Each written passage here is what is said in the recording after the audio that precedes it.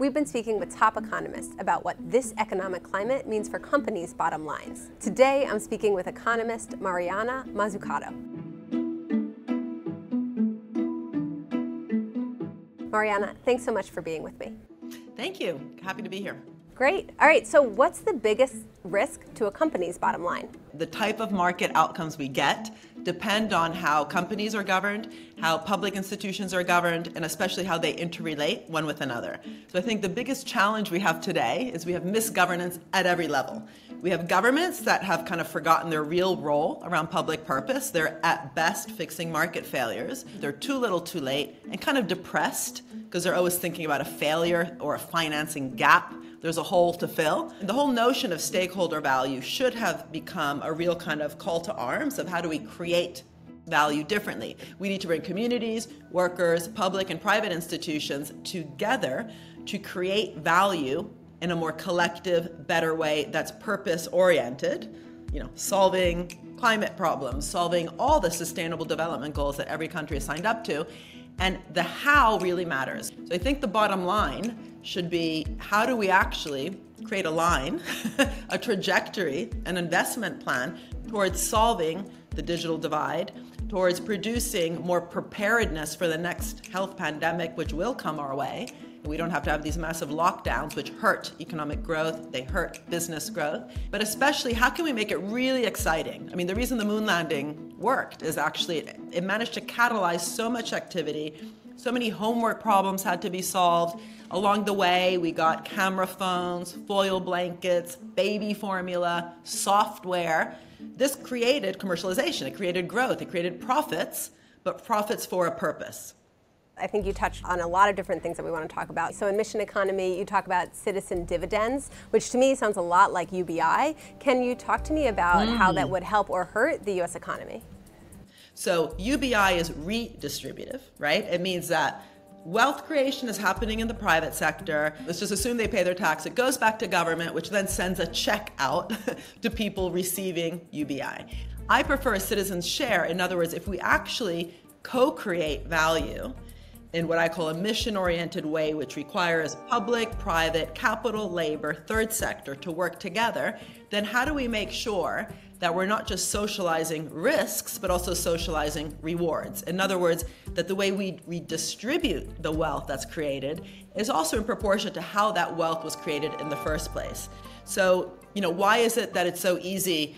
For Lloyd Blankfein, you know, to have called Goldman Sachs workers the most productive in the world because we have a way to measure the work that's done by Goldman Sachs workers that then are very kind of proud to be seen as productive members of society. Whereas school teachers, do you ever hear them calling themselves wealth creators? And they create huge amounts of value and wealth. And surprise, surprise, one is the arrogant part, which calls itself value creating, and the other part is kind of a bit timid, but doing, you know, the job every day. Nurses, doctors, school teachers. Mm, uh, that's very interesting. Sort of playing on that, how does risk management play a role in companies' bottom lines?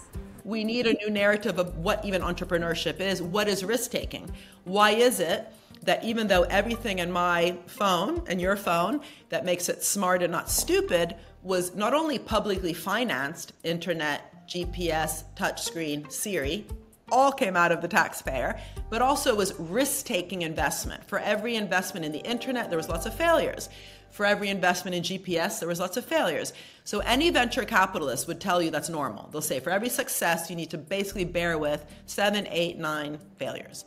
Uh, why do we accept that and even embrace it in the venture capital community? And as soon as government makes a mistake like Solyndra, we blame it. We say, oh, another basket case government. It doesn't know how to pick winners. It should just level the playing field and get out of the way. The pharmaceutical industry, the energy industry, a lot of that high risk early stage capital intensive investment came from the public sector, with the private sector coming in later. Risk taking itself is collective. We need to think about what is an entrepreneurial ecosystem.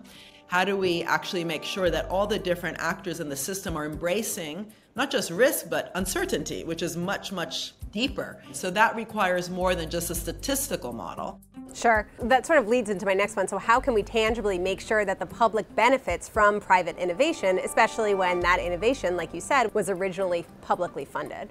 Let's just take medicines, right? In the United States, the National Institutes of Health, which are publicly financed, are responsible for 75% of new molecular entities with priority rating. What do I mean by that? The radical drugs instead of the Me Too drugs, a slight variation of an existing drug.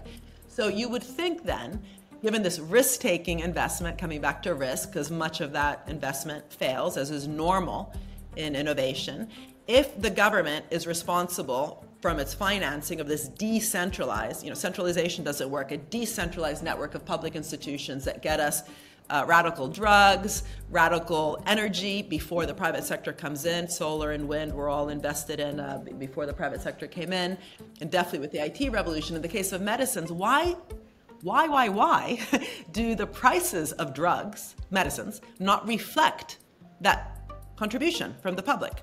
Why is it then that the taxpayer pays once, twice, three different times. So this isn't about socialism. This is about proper capitalism. if you've invested in something, surely you want access to it. I want to shift gears just for a second. Will AI change the way companies do business, and what does that mean for employees and employers? General purpose technologies, which include new forms of energy, even includes like mass production, includes nanotechnology, these have often uh, influenced new changes in production and distribution and consumption, right? So it means a new technology, a new technological revolution that impacts the whole economy, not just one little, you know, gadget or something. Even Google's algorithm was financed from the National Science Foundation. The internet was financed by uh, uh, DARPA. Uh, GPS was financed by the Navy. The big questions we're asking today around AI, but even just big tech in general, in terms of privacy, how our data is being used, do we know how it's being used? The GPT now 5.0 or whatever we're, we're coming to. There's so many design challenges. How can we make sure these algorithms take into account issues that we know we care about. Just look at the Human Rights Declaration, right? There's a lot of good information there, but also the Sustainable Development Goals, which I mentioned before. These are all important in terms of defining what kind of planet do we want to be living on? What kind of growth do we care about? Is it just growth for growth's sake, or is it inclusive and sustainable growth? So there's real design challenges, especially today where a lot of the talent that used to be distributed is in four or five companies around artificial intelligence. So there's profits being earned in excess of the underlying innovation. That has then affected massive, what I call again, rents, which are used then to hire in, right, some of the top workers, labor, to work for the companies much of this, if you look at AI, used to be in universities, places like Stanford, MIT. It's now much more profitable for top academics to be doing artificial intelligence research for the big four or five companies in this space and not in universities or even not in DARPA. And what I think is healthy would be if that talent pool was distributed you called it digital feudalism in one of your books. Um, so yes. people do spend hours online. So what? I'm glad you said that, by the way, because there's a book out that's called techno feudalism. I came up with the word about seven years ago. you definitely did, and I was like, oh, that's a great way to put it. Um, but yeah. how can we like add value to that for the average person? So what is the value of our personal data, and how should it be protected? It sounds like it should be the role of the government somehow, but how can we actually implement that? Well, you know, it's interesting. What can be done to make sure that we have aware, conscious uh, utilizers, but also creators of this digital space that is helping to direct this economy, again, to be inclusive, sustainable, and so on. So I do think education is key because I there's just a complete lack of awareness. I mean, no one reads everything when you say accept all. Let me use this app, please, get on with it. The actors in this space love to talk about entrepreneurship, capitalism. Think of Elon Musk embracing of capitalism, and yet we end up with the feudal, you know, structure. The article I just wrote called "Mapping Modern Economic Rents," or how are rents, so excess profits and value extraction being earned by pharmaceutical companies, by large financial firms, by large real estate companies, you know, and that goes back to the original land rents, but also modern algorithms. Growth valuations, we put anything that has a price. So if you marry your babysitter, GDP goes down. I'll let your listeners figure that one out. Or if you pollute, GDP goes up because you got to pay someone to fix it. It's this big dysfunctionality in how we measure growth. We're trying to look at how the design of the algorithms themselves are reproducing a feudalistic value extraction system instead of this wonderful entrepreneurial system that we all pretend exists out there. I think you'll laugh at this one. Will the US remain the world's leading economy? Is it the world's leading economy? That's news to me. no. Um, actually, let me make this not a joke. So, the big change today is that US competitiveness First of all, it's not happening in a mercantilistic way that Trump was advocating for, was just build a wall or, you know, trade relationships. It's about investment, investment, investment, the CHIPS Act. But what's striking is that the total of close to 4 trillion, if you add everything up, including the Inflation Reduction Act, this is a lot of money, right? So how do we make sure that this money which the US is using for competitiveness embodies within it conditions, or we can think of it as reciprocity, something that sounds a bit better, that really helps to rethink the social contract between all the different actors we've been talking about public, private, capital, labor. So we truly build back better, build forwards better, and aren't just using the money to recover first from the financial crisis, then the COVID lockdown, now the Ukraine war with the supply chain problem, and of course the whole desire to be autonomous from Asia's competitiveness. That's why I kind of joked in the beginning on whether we were the most competitive on chips and potentially even on AI. The real question is how do we also see these problems as global? the collective action that's required, not just the national action, is critical. So we are actually truly a global community. And so we both need to think of national competitiveness, and it would be naive to say it doesn't matter.